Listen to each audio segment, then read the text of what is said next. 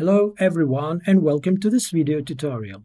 Before I start, I'd like to share some important tips. Make sure to check the quality settings on a YouTube player and set it to 720 or higher. Also, expand the player to full screen. This will ensure a clear view of the code and the actions demonstrated in the video. Today, I will show you how to localize the Angular viewer. Run the project.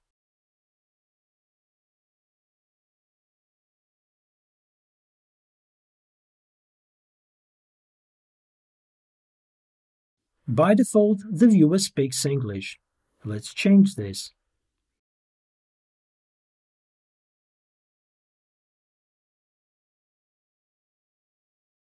Add a new folder in the project and load localization files into this folder.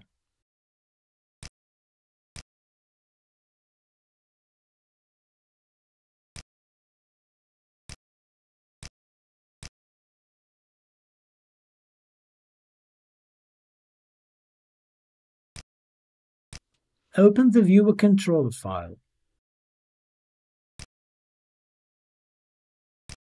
Create a path variable for the localization file similar to how we did it for a report path.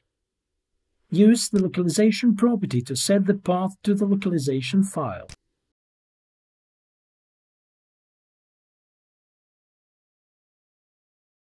Run the project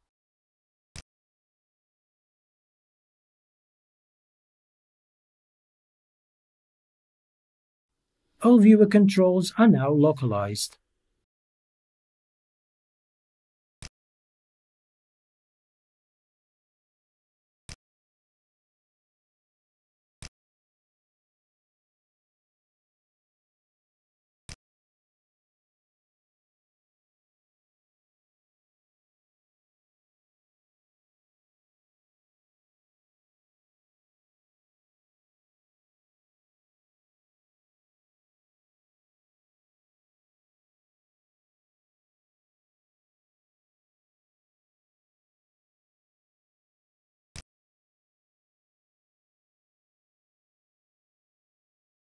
If you found value in this video, kindly pass it along to your peers and be sure to hit the subscribe button for more content.